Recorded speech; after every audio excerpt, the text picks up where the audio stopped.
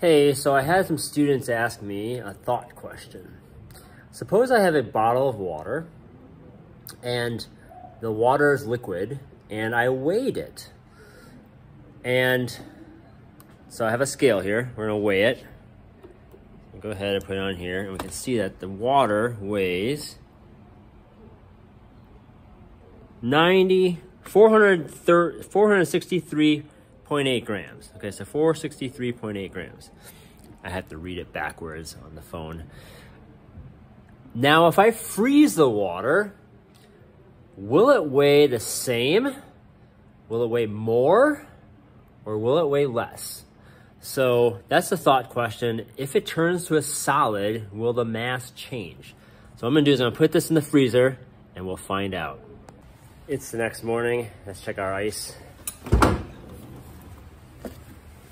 Here's our bottle. Let's go and weigh it. There you go.